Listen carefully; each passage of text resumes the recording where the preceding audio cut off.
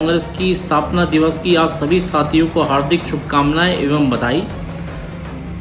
भारतीय युवा कांग्रेस के राष्ट्रीय अध्यक्ष भाई श्रीनिवास जी के द्वारा आज एक कैंपेन चलाया गया है, रोज़गार दो। ये बड़ा ही सराहनीय कदम है, क्योंकि केंद्र में बैठी भाजपा की सरकार, गूँगी बहरी सरकार की गलत नीतियों के कारण आज देश का युवा 14 करोड़ युवा बेरोजगार हो चुका है। मोदी जी अपने मन की बात करते हैं। कभी इन युवाओं के बेरोजगार युवाओं की मन की बात भी सुन लिया करे।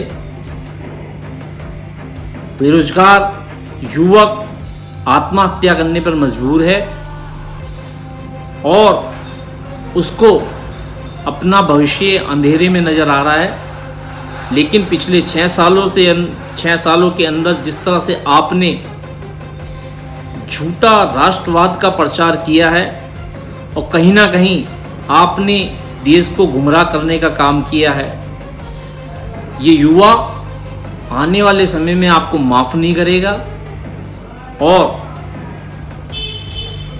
युवाओं को झूठ आश्वासन ना देकर आप उनको रोज़गार दीजिए, उनका भविष्य अंधेरे में है उसको उज्जवल बनाने की कोशिश कीजिए ये जुमलेबाजी बंद कीजिए।